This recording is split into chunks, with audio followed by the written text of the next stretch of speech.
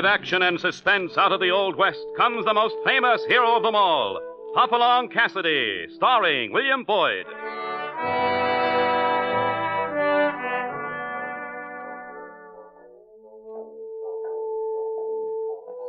The ring of the silver spurs heralds the most amazing man ever to ride the prairies of the early West. Hopalong Cassidy, the same Hoppy you cheer in motion pictures, and the same California you've laughed at a million times. Raw courage and quick shooting have built a legend around this famous hero. Hopalong is a name to be feared, respected, and admired, for this great cowboy rides the trails of adventure and excitement. William Boyd as Hopalong Cassidy, and Andy Clyde as California. What's our story this time, Hoppy? Well, it's one I call Danger Wears Two Faces. It began when a friend of mine in South Texas asked me to help him get back a herd of rustled cattle. California and I took the trail ourselves, following the herd as it headed for the Mexican border through the Big Bend country, a land of border outlaws. And trailing a herd of stolen beef there was as healthy as playing patty cake with an unhappy mountain lion. We finally lost the trail in a rocky section, but pushed on in hopes of picking it up again. Uh, Hoppy, uh, do we keep going? Sure, why not? What'll we do if we find 'em? Take the herd back and turn the rustlers over to the law, of course. Oh, it was silly of me to ask. I, I don't know why I didn't think of that. I, uh, well, great cross-eyed copperheads. Look, What? Oh, a man lying on the road. I know this country would bring us trouble. Well, uh, time to go home. Oh, stop grumbling. Come on. That man may not be dead. Yeah, and his killers may be watching, too. Well, let's see. Take a look at him, California. I'll cover you. Sure, sure. Don't see no wound. Maybe it's sunstroke. I'll see if his heart's, uh...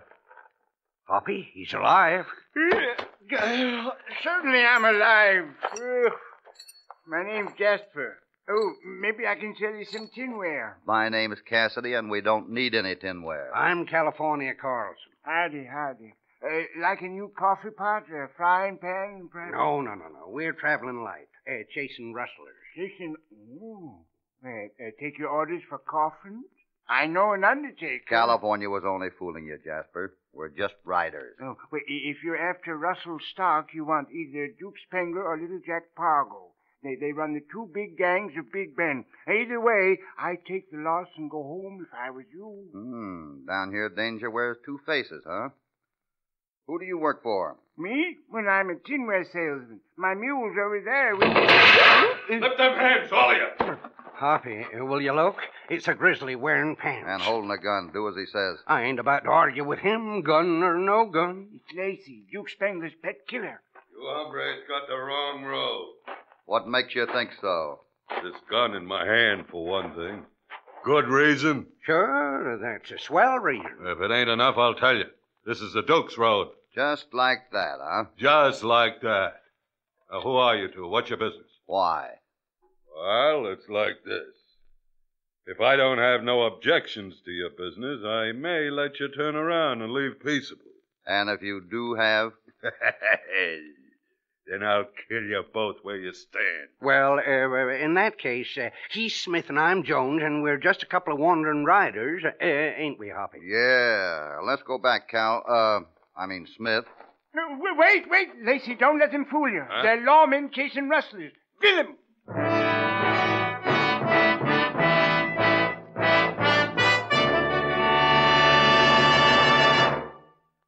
Now back to Hopalong Cassidy and our story.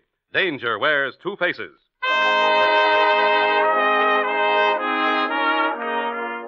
Trailing a herd of Russell cattle, Hoppy and California enter the outlaw infested Big Bend country of West Texas. When a gunfighter named Lacey holds them up and demands to know their business, Hoppy and California pretend to be wandering riders, only to have Jasper, a tinware salesman, betray them to the threatening killer. They told me so, Lacey. Their names are really Cassidy and Carlson. You dirty big mouth. Shut up! It should be worth fifty bucks, Lacey. Now, you, you tell Duke to pay me fifty, won't you? You see, I'm a good friend of his, and... and- Jasper, you make me sick. You'd sell Duke down the river just as quick as you did these two hombres. Did Duke give you orders to shoot anybody trailing the herd? Shoot you.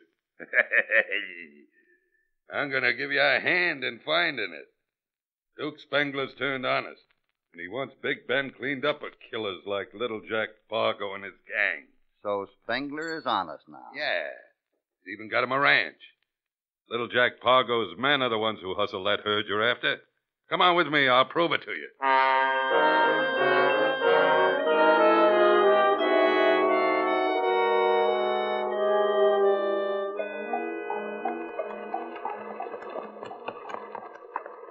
Well, there's the Rio Grande.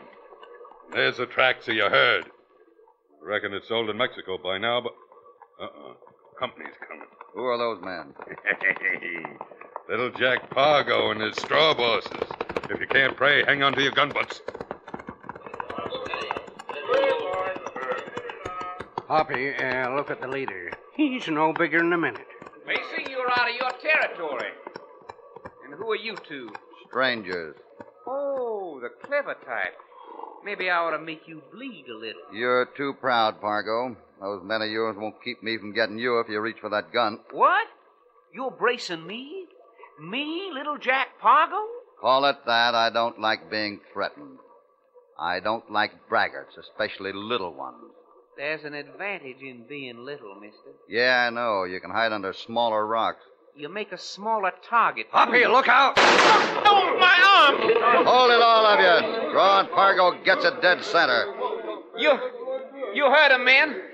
Where's the herd you shoved across the river, Pargo? Sold. And what's it to you? The money, then. Where is it?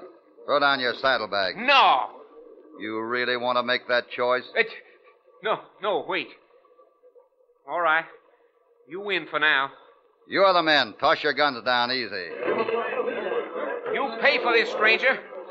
If it takes every man I've got, I'll see that you never leave Texas alive.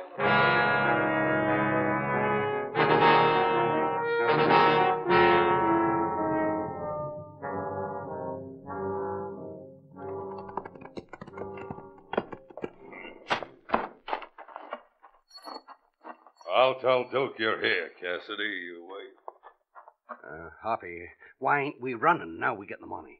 If we run, Pargo's men will catch us sooner or later. Huh? Then uh, what are we going to do? Lacey said Duke Spengler was trying to go on us, that he wanted Big Bend cleaned up. Well, if he'll help, maybe we can rid Texas of little Jack Pargo for good. Well, well, well. I'm Duke Spengler. Lacey tells me you outdrew, outshot, outtalked, and outbluffed little Jack Pargo and his toughest men. Why didn't you wait for your posse? Sorry, no posse. There's just the two of us. Just the two of you? Yeah, I was hoping you'd lend a hand in fighting Pargo.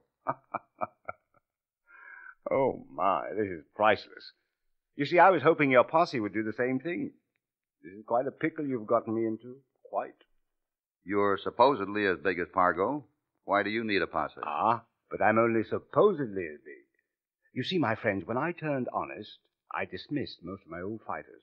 As a rancher, I have no need of thieves and gun hawks. But you do need to be rid of little Jack Pargo. If you're honest, uh, that is. Ah, ah, ah, nasty, nasty tone. Please don't use it. I can assure you I'm only a cattle raiser. Though at the moment I wish I did have a few of my old comrades. After seeing Lacey, Pargo will think I'm backing you. Then you'll have to. Shh, shh, shh, shh. I must think it over. Join me at tea and I'll give you my decision.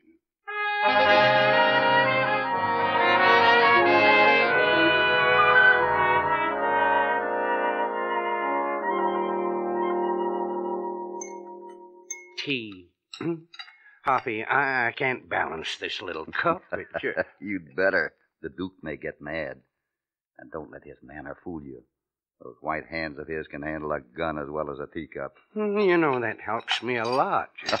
Drop my good cup and they bury you tomorrow, old fellow. Uh, crumpet? Scone?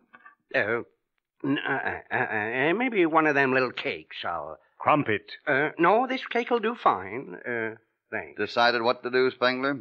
Well, as I see it, the situation is essentially simple.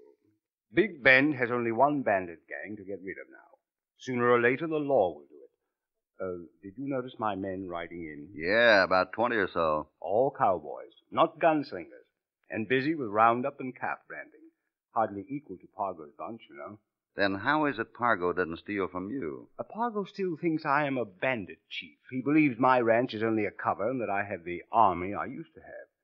My past reputation stands me in good stead now. But not us, I think. Oh, sad but true. Now then, you will take the gold you stole from Pargo and be off the ranch by dark. I'm throwing you to the wolves. Another crumpet?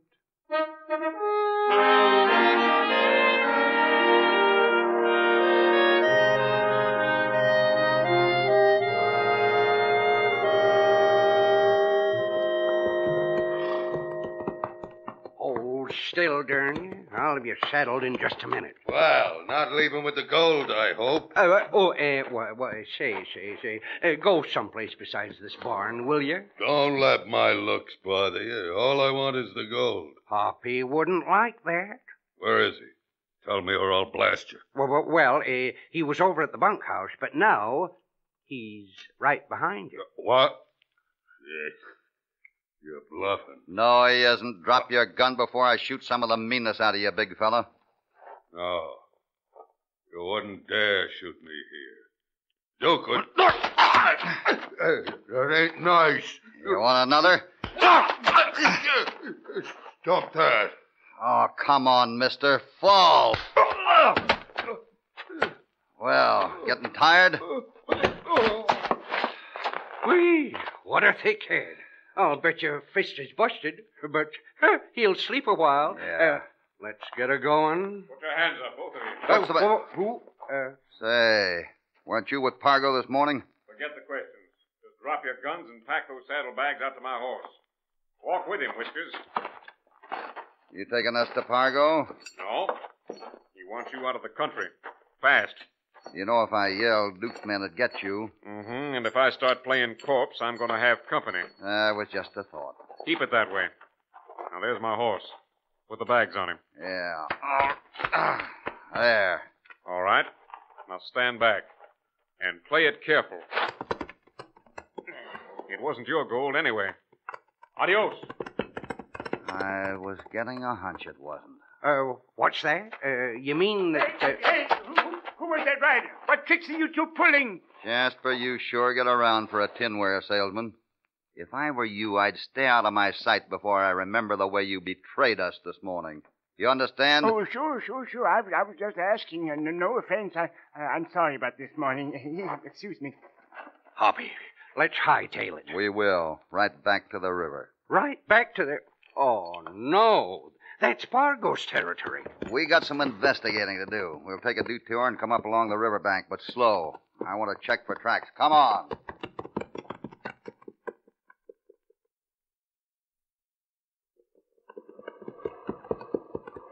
Hoppy, we've checked five miles of riverbank. Ain't that enough? Almost. Even in this moonlight, we wouldn't have missed the tracks of a big herd of cattle. Well, those tracks we saw this morning are the only ones round. It was our herd. Ain't no question about that. Maybe. There's one thing that's bothered me. I what? What's that? Where? Moonlight on rifle barrels. It's an ambush. Ride for the river.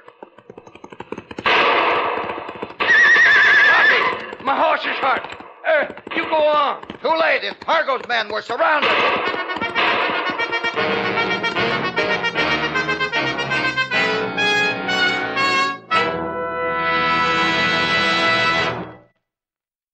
Back to Hopalong Cassidy and our story Danger Wears Two Faces.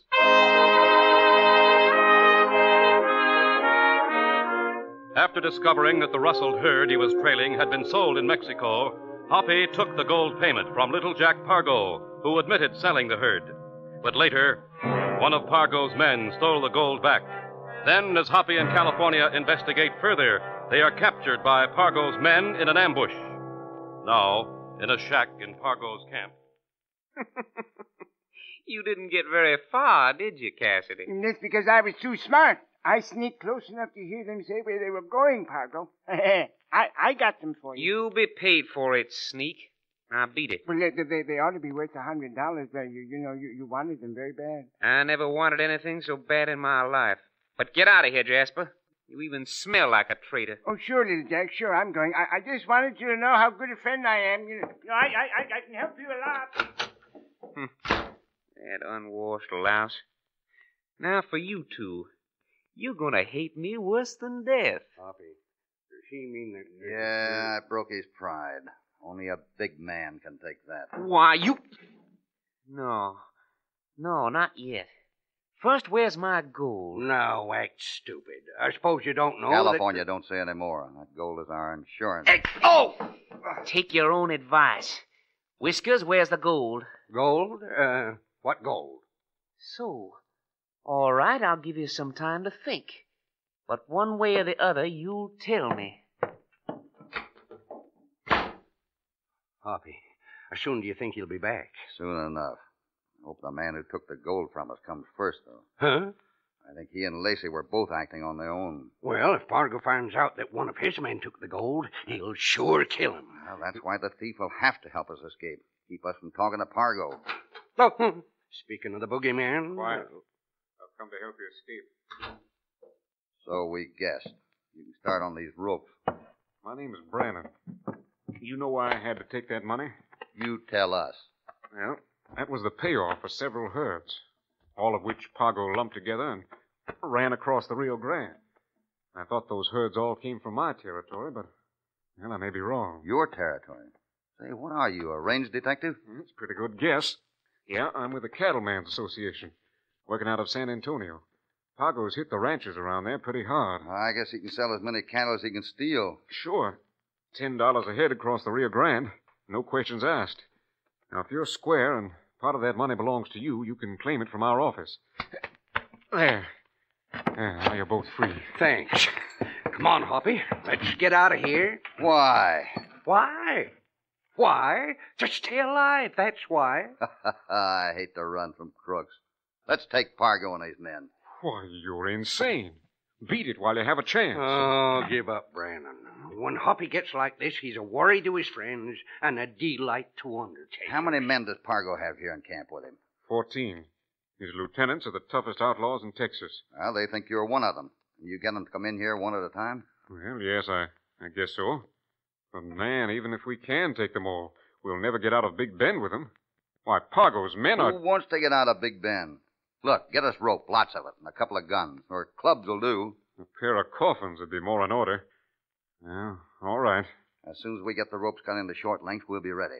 You wait until we've taken Pargo. He's coming back any time now. Once we have him, you can tell the others that he wants them here. Check.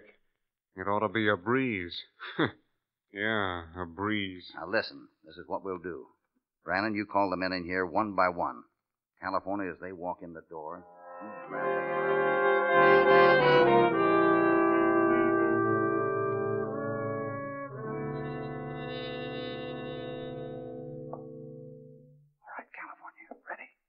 comes another. Get him! I got you! I got you, you darn rascal!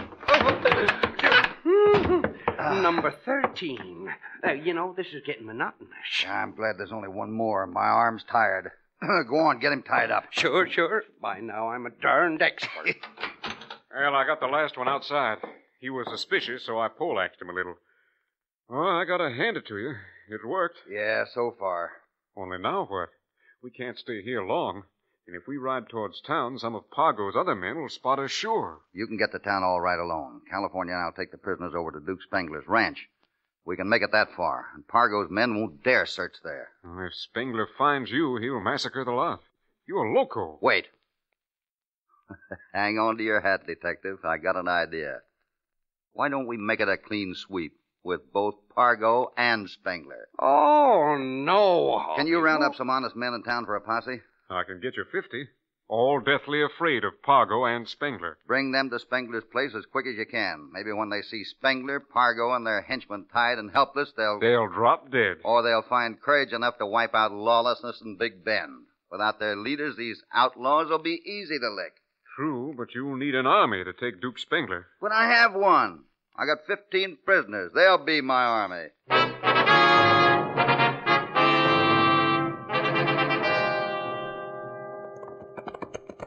Crazy?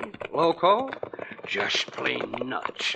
Hoppy, these prisoners ain't gonna be no help. They'd better be, or none of us will see morning. You're crazy if you think I'll help. If you help Pargo, you get a fair trial. Don't, and Duke Spengler will catch us all. What'll your chances be with him? Hmm? Oh, but you, you wouldn't do that. Wh- Why, he'd kill me in cold blood. I was sure I could count on your cooperation. Pull up. There's a light in the ranch house, Hoppy. Duke's still up. It's the bunkhouse we have to take first. Now listen close, Pargo. You're in on this. The prisoners stay tied, but I'll pack them down one at a time and lay them in a circle around the ranch house. What about them empty rifles you loaded in that extra horse? I'll put one of them in each prisoner's arms. In the dark, Duke's men won't know they're tied up. The moonlight will shine off the gun barrels. Pargo's untied and goes with us. With an empty rifle, I'll bet. Just more bluff. Only when we take the bunkhouse. When we hit the ranch house, Pargo will carry loaded guns, with us behind him. We may need him to fight as well as bluff. That's great. You know, Hoppy, there's times when I wish I'd taken up hog raising, like my pappy wanted me to.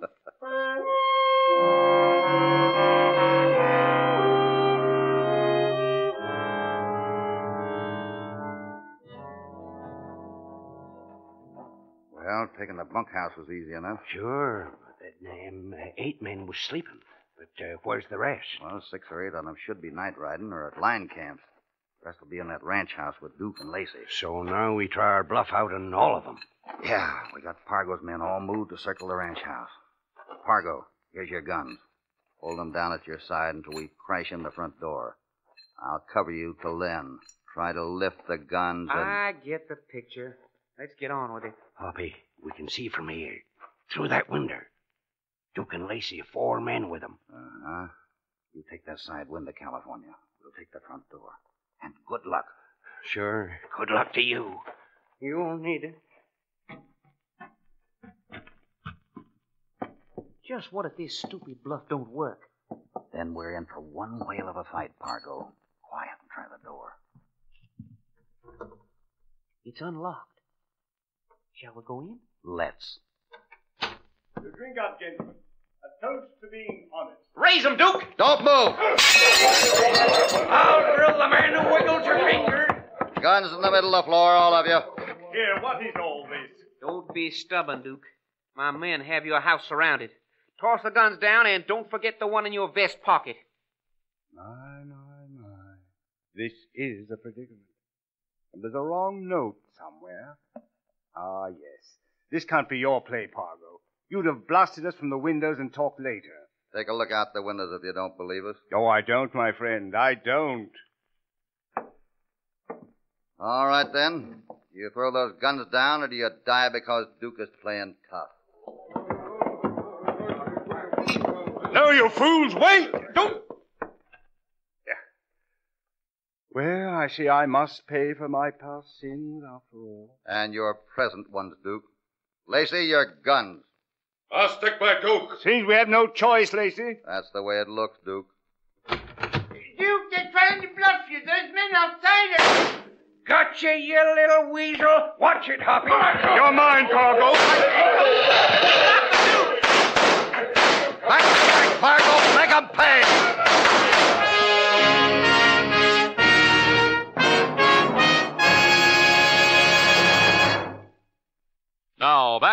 Back along, Cassidy. Well, we've rounded up all the prisoners, Cassidy. What a scrap that must have been. Duke, Pargo, Jasper, and Lacey are done for. Huh, that Lacey. It took two gunloads to make him cash. Ah, they'd have stretched rope anyhow. Duke was still a rustler. Oh, but that couldn't be. Only Pargo's been crossing the Rio. Duke had a better scheme than selling rustled cattle in Mexico for ten dollars a head. The way I figured, he organized this ranch so he could hold the herds, change the brands, and then later send them to Abilene or Dodge. Say, he'd get three times that price in Abilene. And he could play it honest. Duke knew sooner or later the law would wipe out the bandits of Big Bend. Hoppy, you think our herd's in Duke's ranch there now? Yeah, he tried to steer us on Pargo a little too forcefully. Besides, his cowboys were all carrying straight rods of iron when they came in. Running irons. That was a giveaway. They were changing brands. Well, sure, no honest rancher would use running irons. They're too slow. They always have irons with their brand fixed on the end.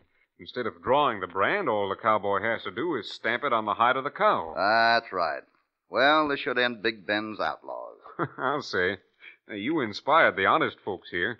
By tomorrow, there'll be a hundred men combing the breaks for crooks. Ah, that sounds like action. Maybe California and I could help. What's that? Where, Hoppy? Doggone it! If you get me into one more fight, I'm I'm going to call off our partnership and do something peaceful. I'll uh, I- I'll take up uh, hog raising. uh, you know, like my pappy wanted me to. Peaceful. Yeah. I'll bet you couldn't take it. Go on, call a hog. Sure, sure. Hee, piggy, shoot. Good gravy, you're right. Lead me to that fighting, Hoppy. I sure can't stand to hear myself do that again.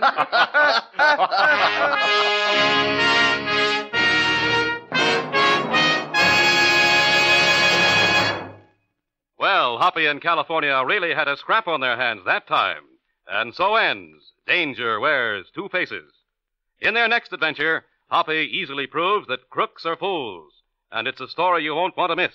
It's called California or Bust.